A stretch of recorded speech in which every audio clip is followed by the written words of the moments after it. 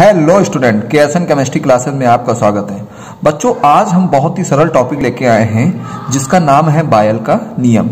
ज़्यादातर बच्चे इसको अच्छी तरीके से नहीं समझ पाते हैं, इसलिए बायल के नियम को हम बहुत सरल तरीके से समझेंगे। आइए, देखते हैं। देखिए, आप बायल के नियम को आप कैसे समझेंगे? बायल के नियमानुसार, बायल के नियमा अनुसार बायल के नियमानुसार क्या है? देखिएगा, हम क्या करेंगे? स्थिर ताप पर। ताप क्या कर देंगे? स्थिर कर देंगे। स्थिर ताप पर, ठीक? किसी गैस का पराशरण दाब, उसके आयतन के व्युत्क्रमानुपाती होता है। फिर ध्यान दीजिएगा, P है पराशरण दाब, V क्या है? आयतन और ये साइन किसका है जो चीज़ वटे में होती है, अगर इस तरह का साइन हो, कि ये है वित्त क्रमानुपाती। ठीक है? डेफिनेशन ध्यान दीजिए, यही रट लीजिए। स्थिर ताप पर किसी गैस का पराशरण दाब, उसके आयतन के क्या होता है? वित्त क्रमानुपाती होता है। फिर से डेफिनेशन देखिए। स्थिर ताप पर किसी गैस का पराशरण दाब, उसके आयतन के व्युत्क्रमानुपाती होता है। तो यही डिफिनेशन हम लोग लिखेंगे। क्या लिखेंगे? स्थिर ताप पर किसी गैस का पराशरण दाब पराशरण दाब,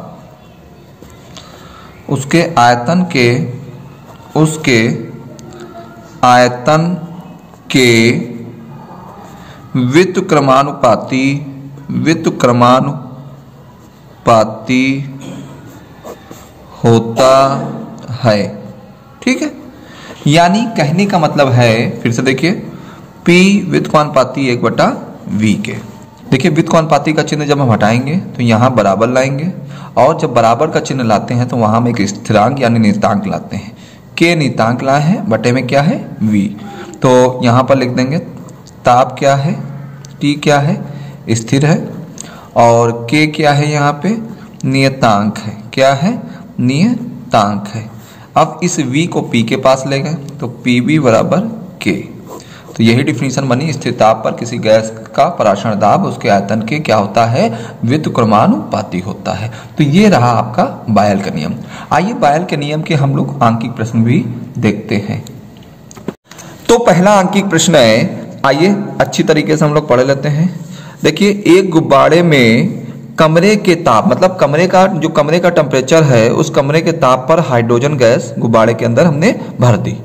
यदि दाब को हमने क्या किया? ज़ीरो दशमलव दो बार बार का मतलब है वायुमंडलीय दाब से अधिक कर दिया जाता है तो वह फट जाता है। यदि एक दशमलव दो बार दाब पर गैस का, गैस दो दशमलव दो सात लीटर आयतन घेरती है। कहने का मतलब है, हमने गुब्बारे में एक दशमलव दो बार हमने जब उसमें हवा, उतने प्रेशर से हवा इसमें इतने लीटर हमने भरी तो क्या हुआ? वो आसानी से भर गई। और जैसे ही हमने उसका प्रेशर एक ज़ीरो दशमलव दो बार किया तो वो क्या हुआ? फट गया। ठीक है? तो ये बता रहा है कि कितने आयतन तक गुब्बारे को फुलाया जा सकता है? मतलब उसकी क्षमता क्या है फुलाने की? कि फटे ना। तो इसके लिए क्या करोगे बेटा? इसके लिए ये हो गया P1 P1 कितना हो गया? एक दशमलव दो बार। और P2 क्या हो गया? P2 हो गया। अब इतना बढ़ाया था, तब फट गया था ना। तो ये हो गया ज़ीरो दशमलव दो बार। और V1 कितना दे रखा है आपको? V1 दे रखा है आपको दो दशमलव दो सात लीटर। V2 आपको ज्ञात करना है। क्वेश्चन मार्क है। तो क्या करेंगे? सूत्र वही P1 V1 बराबर P2 V2 ठीक? P1 कितना है? एक दशमलव दो। V1 कितना है? दो दशमलव दो सात। बराबर P2 कितना दे रखा है? ज़ीरो दशमलव दो। और V2 आपको निकालना है। इसको नीचे ले आइए इसके। तो क्या होगा? इसके नीचे जैसे ही पॉइंट दो को नीचे लाएँगे तो एक पॉइंट दो गुड़े दो दशमलव दो सात, और ये आ गया पॉइंट ज़ीरो पॉइंट टू और बराबर में क्या रहा खाली? यहाँ वी टू हमने छोड़ दिया। अब ये पॉइंट से ये पॉइंट हटा दिया। दो एक कम, दो दो छंग कितना होता है? बारह। तो छ गुड़े दो दशमलव दो सात, ये हो गया वी टू अब क्या करेंगे? छः सत्ते, बयालीस, चार। छः दूनी बारह बारह चार कितने होते हैं? सोलह। फिर एक हासिल गया। छः दूनी बारह बारह एक, तेरह। और दो स्थान पर क्या लगा है? दशमलव लगा है। हमने यहाँ दशमलव लगा दिया। तो V2 आ गया। V2 कितना आ गया? V2 बराबर तेरह दशमलव छः दो लीटर हमने क्या कर दी? इसमें हमने इतने आयतन की भर दिया। ठीक है, इतना क्या कहा? इतने आयतन तक गुब्बारे को फुलाया जा सकता है। ठीक है, अगला अंकित प्रश्न देखते हैं। देखिए, अगला सवाल है 700 सौ mm दाब पर किसी गैस का आयतन 200 ml कर दिया गया। ठीक है 200 ml है। किस दाब पर इसका आयतन 400 ml हो जाएगा यदि ताप स्थिर हो? सवाल क्या कह रहा है? 700 mm दाब पर किसी गैस का आयतन 200 ml है किस दाब पर इसका आयतन 400 ml हो जाएगा यदि ताप स्थिर हो? तो जहाँ एम mm दे रखता है, वो दाब है। जहाँ एम दे रखता है या लीटर दे रखा हो, वहाँ पर वो आयतन है। तो ये आपका जो 700 है, ये P1 है। और ये जो 200 है, ये V1 है। और जो ये 400 है, ये क्या है? V2 है। आपको ज्ञात क्या करना है? P2 ज्ञात करना है। तो पहले P1 क्या दे रखा है? 700 सौ mm और V1 क्या दिया है? 200 ml और V2 क्या दे रखा है? 400 ml आपको क्या ज्ञात करना है? P2 क्वेश्चन मार्क है। फार्मूला वही, उसी फार्मूला से चलते हम लोग। P1 V1 बराबर P2 V2 P1 कितना दे रखा है? 700 V1 कितना दे रखा है? 200 P2 हमको निकालना है। और V2 कितना है? 400 इस 400 को इसके नीचे ले आएँगे तो 700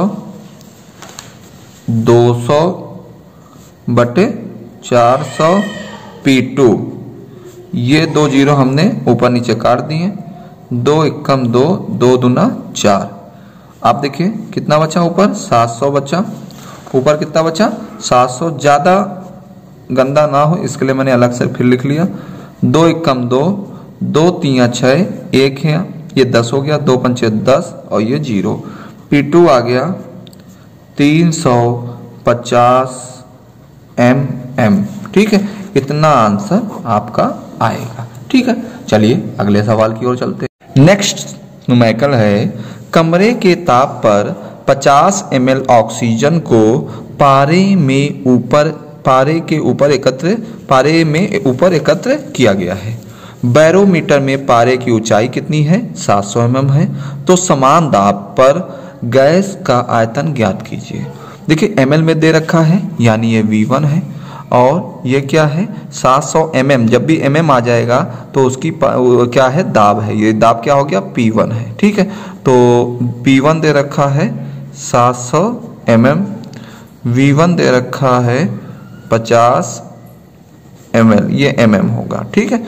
और ये V1 हो गया 50 ml अब P2 आपको पता नहीं है तो P2 होता है एक वायुमंडली दाब बराबर 760 कितने के होता है? 760 mm Hg के।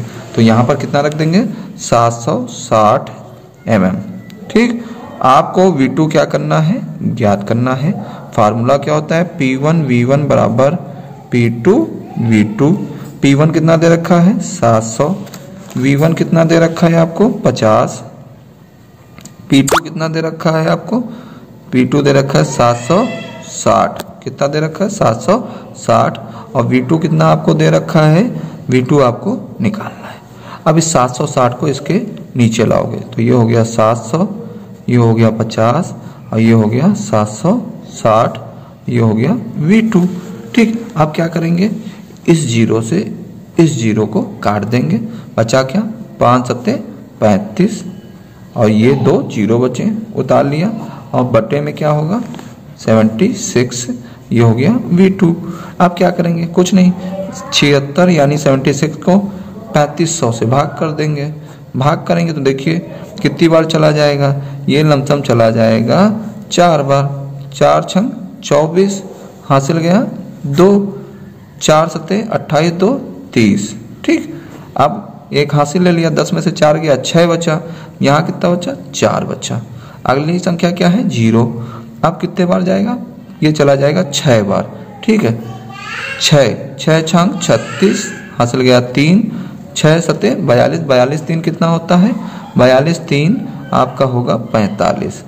फिर क्या हुआ? एक हासिल लिया, दस में से छः गया, बचा चार। दसवन लगाया, ज़ीरो। ज़ीरो बढ़ाया। अब कितनी बार जाएगा आपका? ज़ीरो बार जाएगा तो यहाँ पर ज़ीरो बार ऊपर आपने लिख दिया। अब फिर दसमलव लगा है ऊपर तो आपने क्या किया? ज़ीरो बढ़ा लिया। लमसम कितनी बार चला जाएगा? पाँच बार। तो आंसर आ गया वी टू बराबर छियालीस दशमलव ज़ीरो पाँच एम ठीक है, ये आपका आंसर हो गया। चलिए नेक्स्ट की